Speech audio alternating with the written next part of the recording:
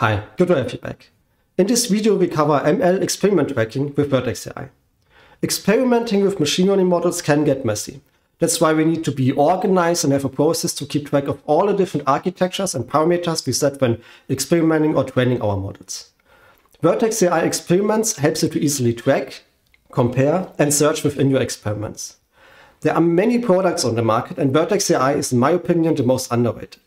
This video covers everything you need to track, manage UML experiments, and hopefully you get everything you need for your specific use case. Since it's just an API, you can use Vertex AI experiments when training your models on your local machine or on the cloud. Don't forget to subscribe if you like this video and let us get started.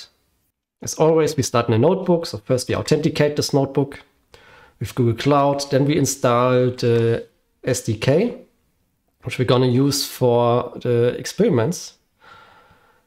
And we import the SDK. And then we are already at the starting point. To use Vertex AI experiments, we can, we can use the Vertex AI SDK or the UI. And the combination of both gives you great flexibility. With the SDK, you get the, get the simple integration into UML code. And with the UI, you get the ability to easily compare your experiments. And if you need to, you can also create custom dashboards or get the data into your notebooks with the SDK. So you have a great uh, flexibility here. Everything starts with an experiment. An experiment contains everything you want or need to keep track of. It's the very starting point of our uh, Vertex AI experiments, and the usage is quite easy. We define an experiment during the um, init, of the Vertex AI SDK, and then you're ready to go. So if we execute this cell here, takes a few seconds, already done, you see we have uh, experiment defined, the experiment demo. And if we now go to Vertex AI and we reload the page, you see we have um, now an experiment here. If we click on it, it's at the moment, it's still empty. The list here of experiments can also be filtered. So if you are crazy in running a ton of experiments, you can also filter them if needed. Each experiment consists of multiple runs. So for example, if we now want to start our experiment, we need to start a run. And for that, we also use a, a platform SDK. We have a method start run, and you can give it a name. I am using um, just a timestamp. And if we execute this, and go back to our experiment, you can see we now have uh, a run actively running here. And as part of this run, we can log our metrics, our parameters, and our artifacts. And we're going to start with the first one with the parameters. So we go back to the notebook Scroll down and here you can see how we can log the parameters. Parameters are exactly what we use when we train different models, like the batch size or the number of layers of your, of your model.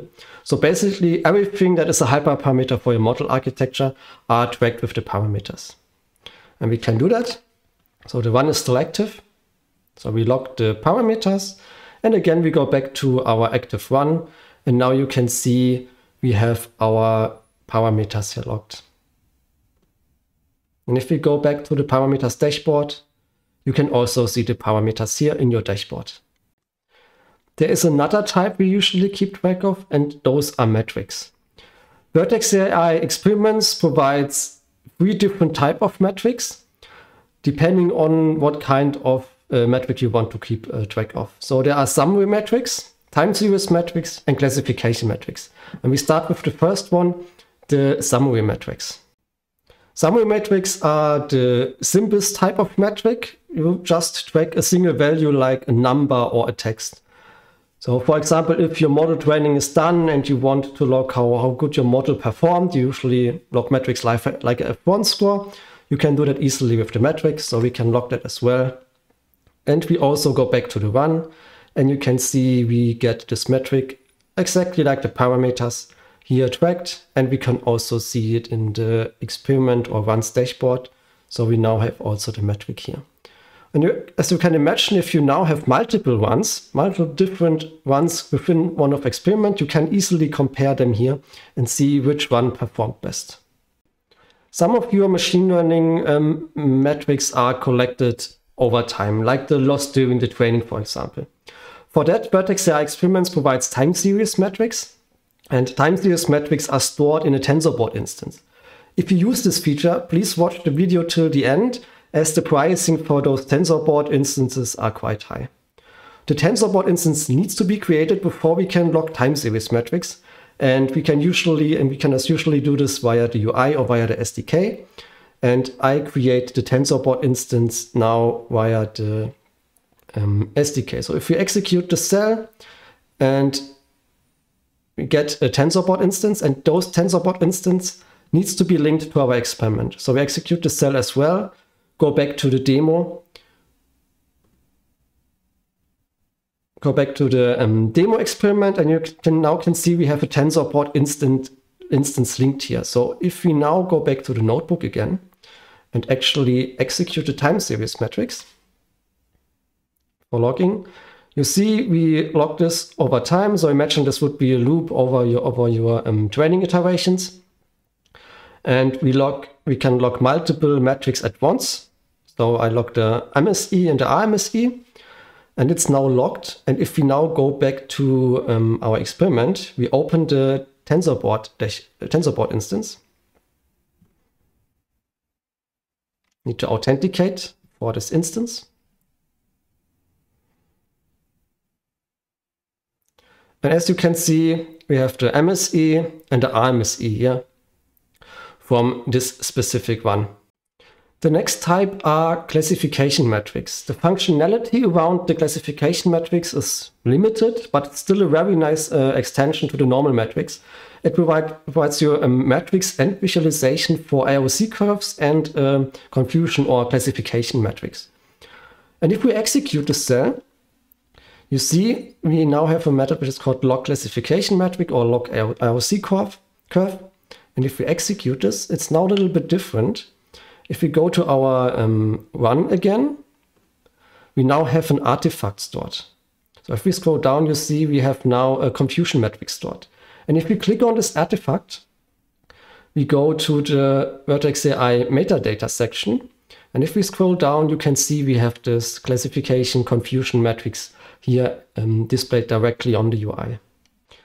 Experiments within Vertex AI are more than just parameters and metrics. Artifacts are part of your experiment, like your data set, the model you trained, or anything else you create can be stored. Artifacts are stored within Vertex AI metadata and linked to your experiments or to your runs. It helps you to answer questions like what kind of data set was used for which specific experiment run.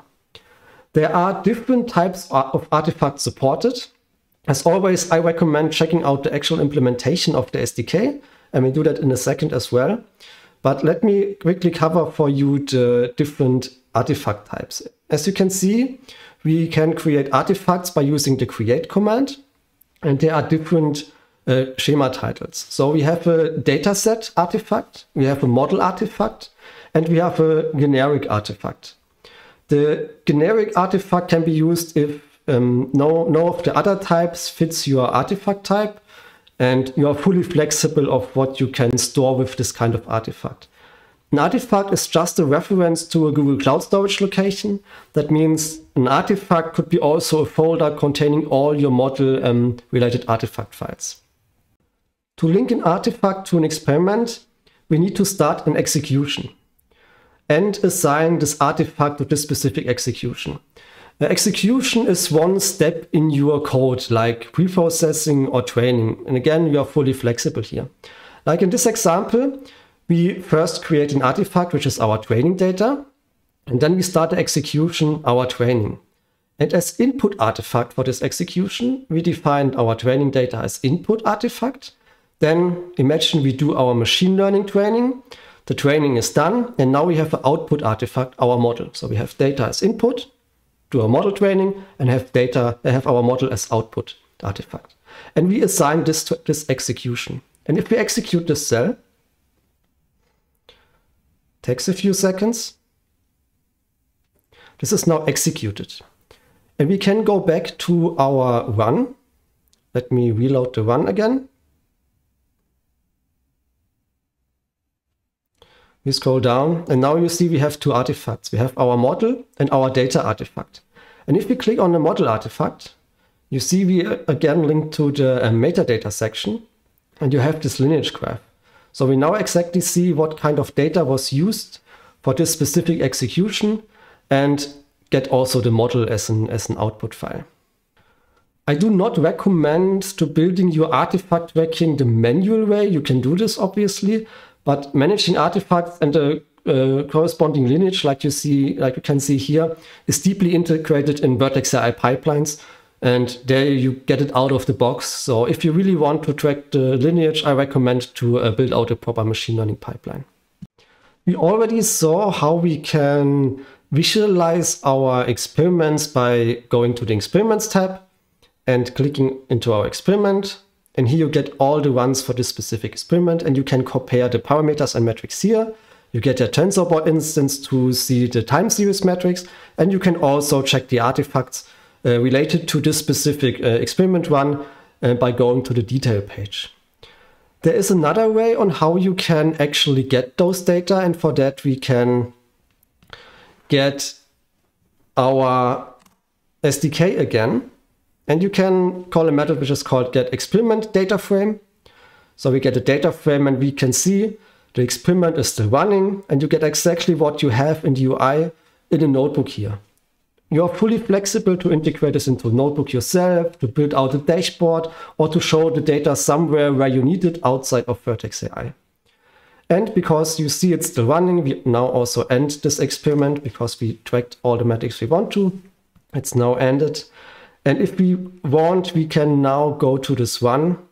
We copy the identifier for the one, and we can also get the detailed information for each of the metrics, parameters, and artifacts. So you not only get the table, but you can also get the detailed information for each of the ones. As you can see, we get a list of the artifacts, we get our metrics, we get our parameters, and we also get the time series data. So if you don't want to go into the TensorBoard instance to compare the data, you can also visualize it yourself if you want to. As always, we also have to talk about the costs and the experiment metrics, parameters, and artifacts are all stored in Vertex AI metadata. And this service comes with a pricing of $10 um, per gigabyte. I think that's a fair pricing, but there is this one pitfall with the TensorBoard instance. And those instances are costly. With $300 per unique user, you have to pay a lot if you have a large team. So imagine you have a people of uh, a team of five people and all want to have a look into the time series metrics. As soon as they open the TensorBoard instance and log in, you have to pay for each user $300 per month. It doesn't matter how many TensorBoard instances you have, um, but $300 is still quite a lot. In my opinion, um, too overpriced and it leaves a little bit of a, of a bad taste for an overall very nice product. I hope you enjoyed this video. Subscribe for more videos and don't forget to check out the code and the article in the video description below. See you next time.